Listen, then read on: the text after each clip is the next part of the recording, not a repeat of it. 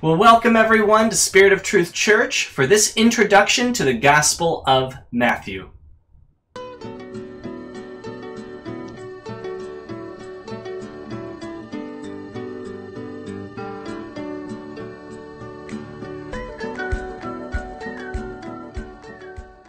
So let's go ahead and begin our journey into Matthew with what an introduction actually is. So when I say introduction, I mean background information.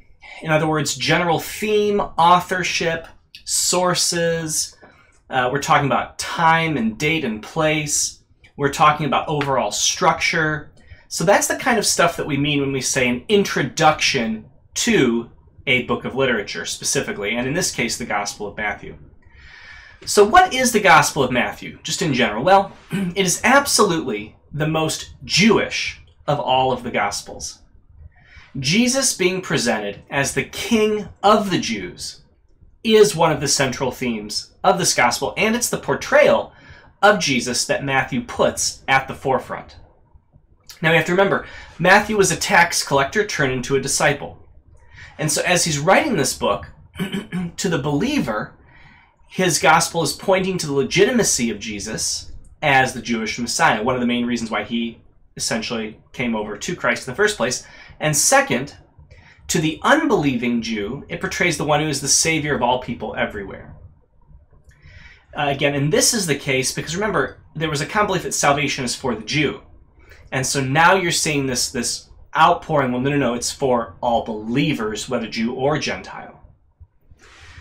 Something else we're going to talk a little bit about in our time today is the primacy of Matthew in the early church and in general. And I'm going to argue that our gospel traditions began actually with Matthew and not Mark. Although there, there, there is some evidence for Mark, but I actually do think uh, that Matthew, at least in some sense, had written the first writings about Christ uh, in terms of a gospel, and we'll get to that later. He's going to bridge both the Old and the New Testaments. His heavy emphasis on Messianic prophecy is going to do this.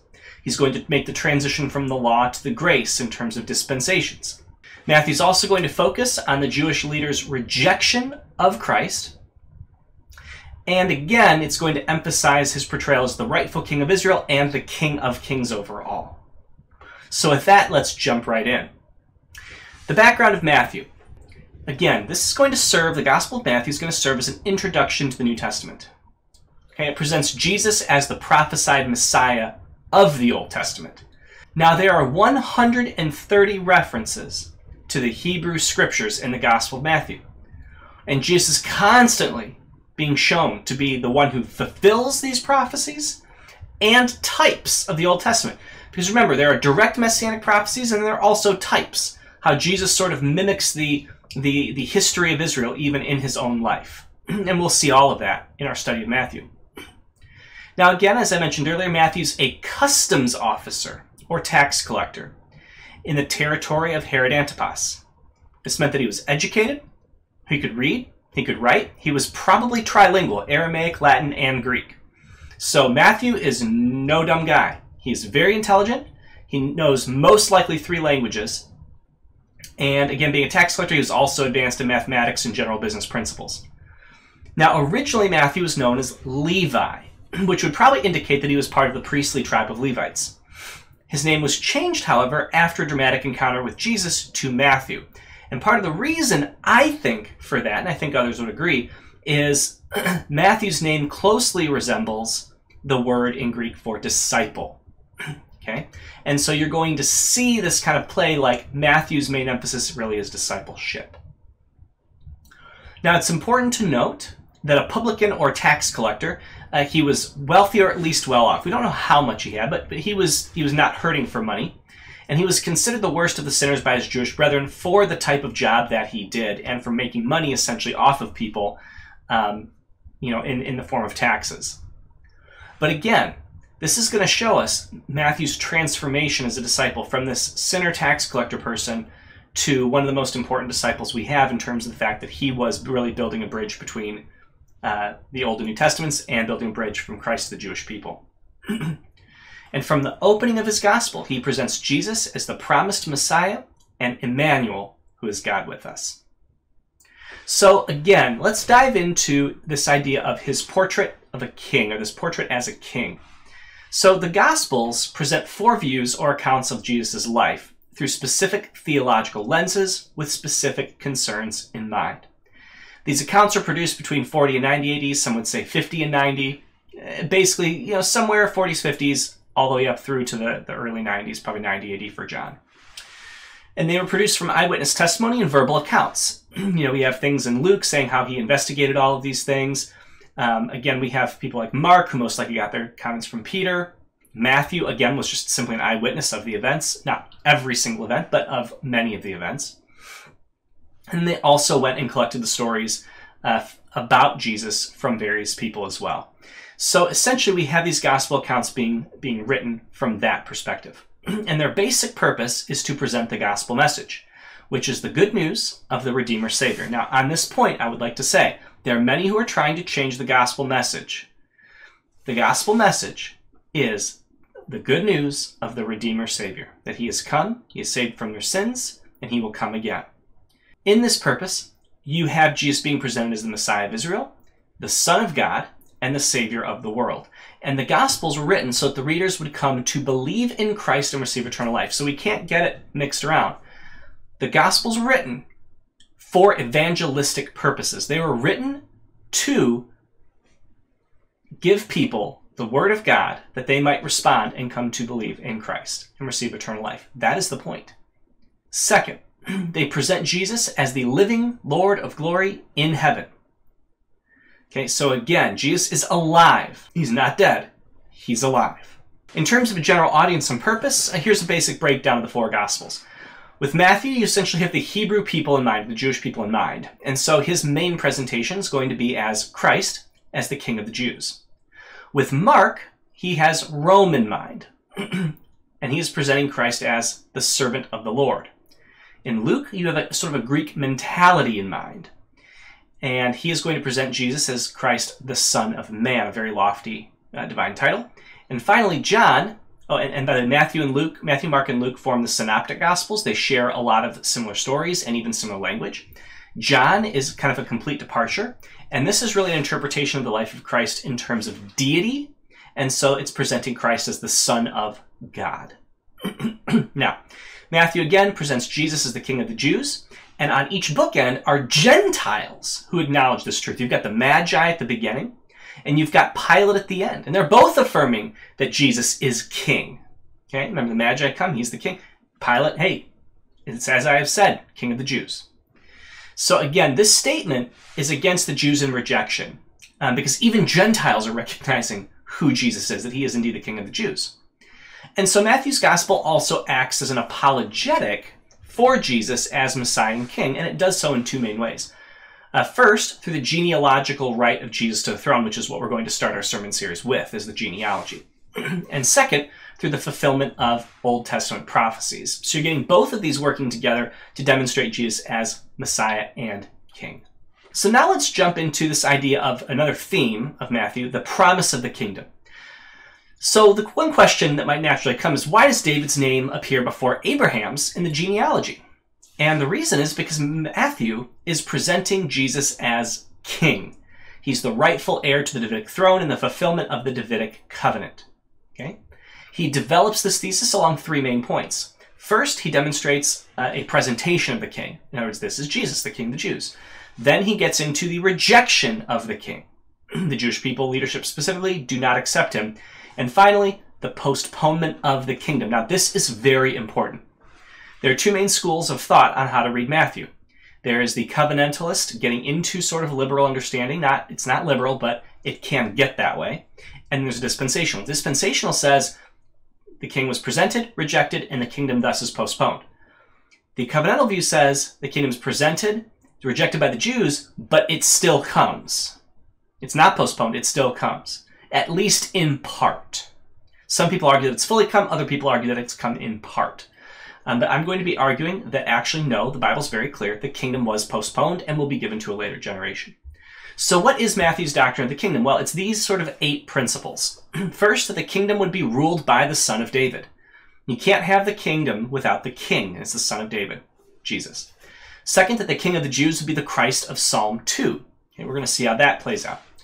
Third, that the herald of the kingdom of heaven would be John the Baptist. Fourth, that the kingdom of heaven was at hand because the king, the Son of God, was present. So, in other words, the kingdom of heaven being at hand is not a reference to the kingdom is, is going to is going to be enacted immediately. It is simply a statement reflective of the fact that the king is now in the land, that the king has come. So the kingdom of heaven is at hand. Uh, next, we have the kingdom of heaven would raise a series, or would have a series of rules and laws administered by the king. In other words, it's got a rulership to it.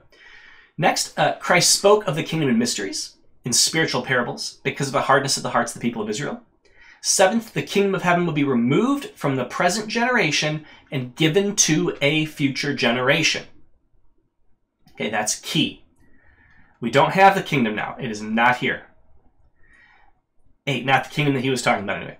8. The kingdom of heaven will someday be established on earth by the king, the Son of Man. So that's essentially Matthew's doctrine of the kingdom. Those are the main points that we're going to be seeing come out during our series. Now, this does not mean, however, because it was delayed or the kingdom was, was postponed, that the promises to Israel are canceled or that the covenants are canceled. Uh, again, there's some, some, are simply postponed. In fact, some blessings we received immediately through Jesus, the, the blessings to the nations, all people will be blessed, that was partially fulfilled, at least through Jesus' coming, and then salvation going to the Gentiles as well as the Jews. Uh, but other promises, like for example the Davidic throne forever and ever, uh, the remain the uh, the, the restoration of Israel as a nation, both spiritually and, and physically, those things would be far off. so the gospel again is then designed to explain to Jewish people why Christ suffered and died, and why there was the resulting postponement of his triumph until his second coming. So that's essentially the kingdom understanding throughout the Gospel of Matthew. so let's now move into the primacy of Matthew. so in early church history, Matthew held a primary place among the Gospels. It's always first. Every single time, in every single list, it's always going to be first in terms of the order of the Gospels. Um, its Old Testament messianic prophecy is a great bridge from Old to New. Every manuscript uh, as well that contains the opening of Matthew attributes the gospel to Matthew. So there's a general understanding in the early church. This gospel is attributed to Matthew. We have no reason to doubt that Matthew, the disciple, uh, wrote this gospel. He did. There's no question about it. Early church fathers are unanimous in the attribution uh, to Matthew as well. And early church traditions also credit Matthew with writing the first gospel. Now there's some questions about what that means. Did Matthew write a set of sayings in Aramaic, for example, that he then wrote not translated, but just wrote a Greek account as well. Did he write a full gospel in Aramaic and then also rewrote it, so to speak, in Greek? Um, what happened there? We just don't know. There, there's no way to tell. But we do know that Matthew was writing early, Matthew was writing first, and they give primacy to Matthew. Second, conservative scholars typically reject the idea that Matthew used Mark as a source and instead hold that it's an original apostolic witness. Now, this is where it gets kind of difficult because there are some substantial similarities. Here are some ways to account for these. It could very well be that these stories were were held by uh, people like the Apostle Matthew or by Peter, etc., and that they essentially kind of told the stories in their own in their own way with very similar wording. It's possible. Okay, it's possible. And so then they got written down again. Mark wrote down Peter's and Matthew wrote down his own accounts. There's a number of different possible reasons uh, for why they would differ, why they're the same. And we will get into some of that during our our time here on certain stories I'm going to pick out and show the actual differences between the gospel accounts and why. Uh, but again, uh, there's a lot of conservative scholars that actually hold Matthew first. and again, there's a substantial amount of interdependence, but again, there are explanations. So what about the personality of the author? Well, there's a lot of support actually for Matthew being the author besides just external attribution. First, the other Gospels only refer to him as Levi. It's only Matthew that you get him as the disciple Matthew. He has a familiarity with money and coins. For example, Mark and Luke use the word denarion, but Matthew used the more technical term nomisma, which also, oddly enough, uh, as, as a fun little aside story, um, numismatology is the study of coins. He also used six other monetary terms that are not used anywhere else in the Gospels and used three monetary terms that are used elsewhere. He also records two parables involving money, a parable of talents, things like that, and he uses numbers and lists with a clerical-like precision. In other words, he's, he's very technical when he gets into those. And then there's even the Matthew 9, 10, and Mark 2, 15 connection, which is where essentially after Matthew's calling, they go and have a meal, and the, the explanation is that it's at the author's house, it's at his own house. So it seems like that was sort of a telling thing that, yeah, this is actually Matthew who's writing this. And you find that in, uh, in comparison to Mark 2.15. So what's the place and date of writing? Well, uh, early dating places it in the early 50s AD.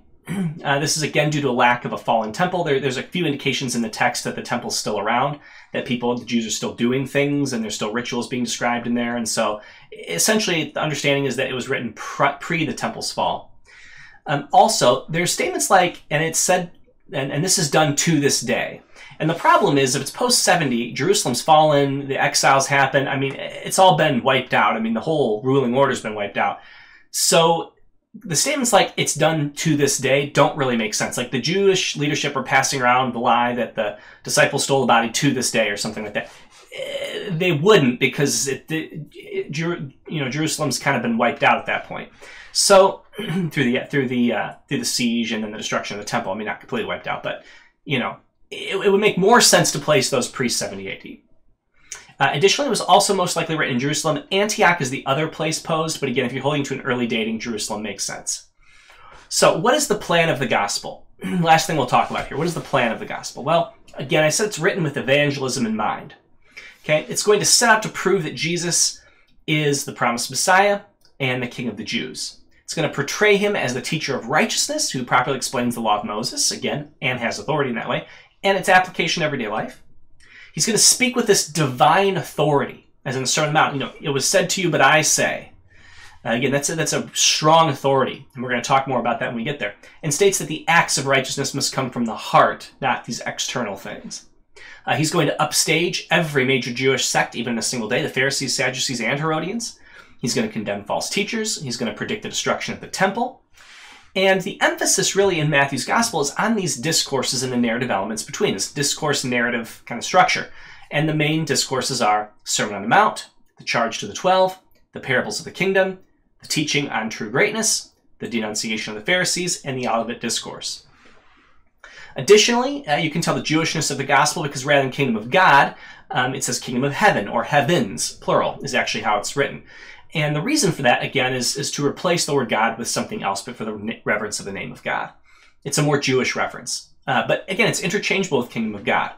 Um, what about evangelism? again, I said that the gospel's evangelistic. Well, here are the lessons that Matthew typically teaches on evangelism. First, that repentance is a changing of the mind, has to do with the rejection of sin and the acceptance of Christ the Savior.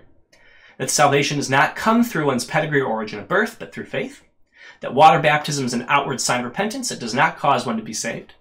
That true salvation will be the baptismal work of the Holy Spirit. uh, that the results of salvation will be that one will follow Christ.